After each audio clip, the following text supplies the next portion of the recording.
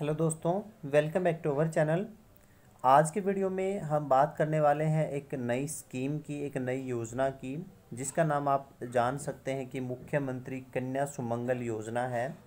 तो इसके बारे में आज कंप्लीट इन्फॉर्मेशन आपको प्रोवाइड करने वाला हूँ। तो पहले ये बता देता हूँ कि ये योजना जो है स्पेशली लड़कियों के लिए स्टार्ट की गई है भारत सरकार की तरफ़ से। वुमेन एम्पावरमेंट को जो है बढ़ावा देने के लिए इस तरह की योजनाओं की शुरुआत की जाती है और समय समय पर बहुत सारी ऐसी योजनाएँ आती रहती हैं गवर्नमेंट ऑफ़ इंडिया की तरफ़ से ताकि लड़कियों को जो है थोड़ा सा एम्पावरमेंट मिले, उनको जो, उनके जो है डेवलपमेंट में ज़्यादा से ज़्यादा उनका जो है डेवलपमेंट हो सके तो इसलिए इस तरह की योजनाओं को स्टार्ट किया जाता है। तो आज का जो हमारा टॉपिक है या जो आज की हमारी योजना है, इसका नाम है मुख्यमंत्री कन्या सुमंगल योजना। तो इसके अंतर्गत किसी भी परिवार की मैक्सिमम दो लड़कियों को पंद्रह हज़ार रुपये हर एक लड़की को जो है पंद्रह हज़ार रुपये मिलने वाले हैं सरकार की तरफ़ से। तो आज की इस वीडियो में कंप्लीट इन्फॉर्मेशन आपको प्रोवाइड करूँगा कि किन किन लड़कियों को ये पंद्रह हज़ार रुपये भारत सरकार की तरफ़ से मिल रहे हैं या आप कैसे ये पंद्रह हज़ार रुपये जो है पा सकते हैं अगर आपके घर में लड़कियाँ हैं तो। तो ये हमारा टॉपिक रहने वाला है। अगर आप इंटरेस्टेड हैं इस जानकारी को जानने के लिए तो वीडियो को लास्ट तक ज़रूर देखें। जो लोग चैनल पर नए हैं चैनल को सब्सक्राइब कर लें, ताकि इस तरह की इम्पोर्टेंट वीडियोज़ आपको मिलती रहें। तो सबसे पहले हम बात कर लेते हैं कि इस योजना का नाम, जैसे कि मैंने आपको बताया, मुख्यमंत्री कन्या सुमंगल योजना है। तो इसमें जो भी समाज में प्रचलित जो भी कुरीतियाँ हैं, भेदभाव, जैसे कन्या भ्रूण हत्या है, असमान लिंग अनुपात, बाल विवाह एवं बालिकाओं के प्रति परिवार की जो नकारात्मक सोच है, उसको जो है समाप्त करने के लिए, उसको दूर करने के लिए इस तरह की योजनाओं को जो है शुरू किया गया है। तो ऐसी ही योजना है मुख्यमंत्री कन्या सुमंगल योजना। तो इस योजना के अंतर्गत मैं आपको बता दूँ कि किसी भी परिवार में अगर दो लड़कियाँ हैं तो उन दोनों लड़कियों को पंद्रह पंद्रह हज़ार रुपये की राशि सरकार की तरफ़ से दी जा रही है। तो अगर किसी परिवार में, मान लो फ़र्स्ट जो है बेबी आपका गर्ल है, उसके बाद सेकंड जब डिलीवरी होती है तो उस टाइम पे अगर ट्विंस बेबी हो जाती हैं और दोनों ही लड़कियाँ हैं तो उस केस में तीनों लड़कियों को ये पंद्रह पंद्रह हज़ार रुपये की राशि सरकार की तरफ़ से दी जाती है। तो पूरी डिटेल हम जान लेते हैं कि और क्या क्या क्राइटेरिया हैं। अगर पंद्रह हज़ार रुपये की राशि किसी को प्राप्त करनी है सरकार से तो और क्या क्या क्राइटेरिया सरकार ने रखा हुआ है, वो भी मैं आपको दिखा देता हूँ। ये देखिए, सबसे पहली जो रिक्वायरमेंट है, वो है कि परिवार की जो वार्षिक आय है, वो आपकी जो है तीन लाख रुपए से अधिक नहीं होनी चाहिए। यानी कि जो इनकम है पूरे परिवार की वार्षिक आय, यानी कि माता पिता की वार्षिक आय तीन लाख रुपए से अधिक नहीं होनी चाहिए।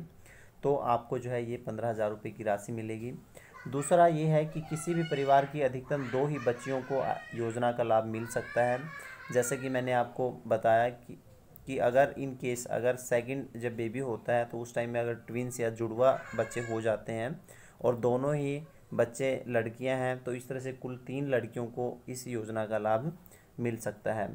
और लाभार्थी के परिवार का आकार साइज़ परिवार में अधिकतम दो बच्चे हों, ये यहाँ पे लिखा गया है। यदि किसी परिवार ने अनाथ बालिका को गोद लिया हो तो परिवार की जैविक संतानों तथा विधिक रूप में गोद ली गई संतानों को सम्मिलित करते हुए अधिकतम दो बालिकाएँ इस योजना की लाभार्थी होंगी। तो कन्या सुमंगल योजना के जो पंद्रह हज़ार रुपये हैं, वो आप देख सकते हैं कि यहाँ पे छः इंस्टॉलमेंट में आपको ये दिए जाएँगे। सबसे पहले इंस्टॉलमेंट में दो हज़ार रुपये मिलेंगे सेकंड में हज़ार मिलेंगे थर्ड में दो हज़ार फोर्थ में जो है दो हज़ार फिफ्थ में तीन हज़ार और सिक्स जो होगी उसमें पाँच हज़ार रुपये की राशि सरकार की तरफ़ से दी जाएगी। तो इस तरह से कुल मिलाकर पंद्रह हज़ार रुपये ये हो जाते हैं। पाँच, तीन, आठ, दो, दस, दो, बारह, तेरह और दो, पंद्रह, ठीक है? तो ये पंद्रह हज़ार रुपये की राशि जो डायरेक्टली बैंक ट्रांसफ़र के माध्यम से लाभार्थी के बैंक खाते में ट्रांसफ़र की जाती है। अगर उसका अकाउंट नंबर नहीं बना अभी तक तो उसके जो माता पिता के खाते में राशि ट्रांसफ़र कर दी जाती है। तो इसके लिए और क्या इम्पोर्टेंट चीज़ें हैं, जो कि मैं आपको बता दूँ, सब ये देखना कि लाभार्थी का परिवार जो है उत्तर प्रदेश का निवासी हो तथा उसके पास स्थायी निवास प्रमाण पत्र हो, जिसमें ration card, Aadhaar card, voter पहचान पत्र, विद्युत या टेलीफोन का बिल मान्य होगा।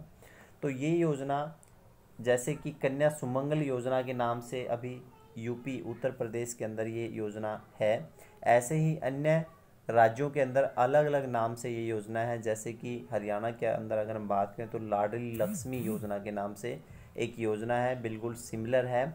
इस जैसी योजना है, लड़कियों को एम्पावरमेंट के लिए उस योजना की शुरुआत की गई है। तो इस योजना के अगर आपको अप्लाई करना है तो जो क्राइटेरिया है वो मैंने आपको बता दिया। अब अप्लाई कैसे करते हैं, वो भी मैं आपको बता देता हूँ।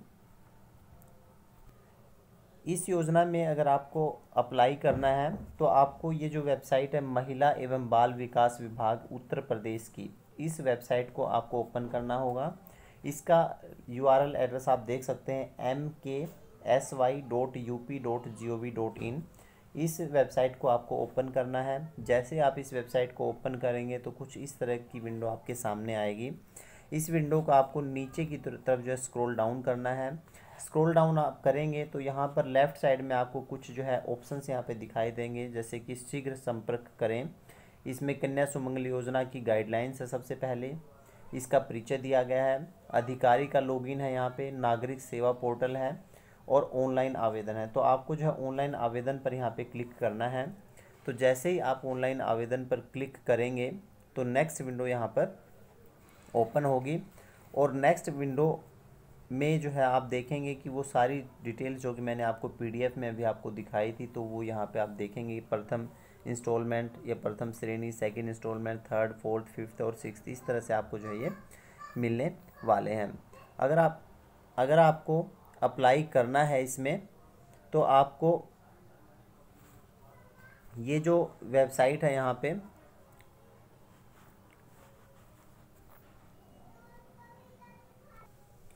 जैसे ही आप जो है ऑनलाइन आवेदन पे क्लिक करेंगे तो ये नेक्स्ट विंडो ओपन हो जाएगी। इसमें आपको सबसे पहले अपने आप को रजिस्टर करना होगा। यहाँ पे देखिए, नया उपयोगकर्ता खुद को पंजीकृत करें, यानी कि खुद को आपको रजिस्टर करना होगा। रजिस्टर करने के लिए आपके पास क्या होना चाहिए? एक वैध जो मोबाइल नंबर होना चाहिए।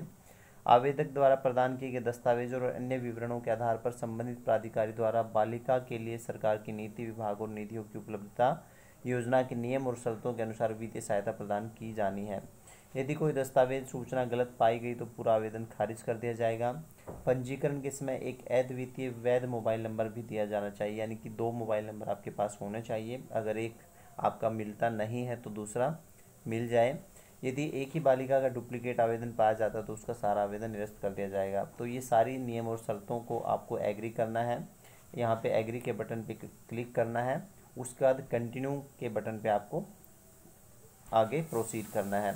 तो इसमें आप देखेंगे कि ऊपर आ गया है रजिस्ट्रेशन अंडर मुख्यमंत्री कन्या सुमंगल योजना।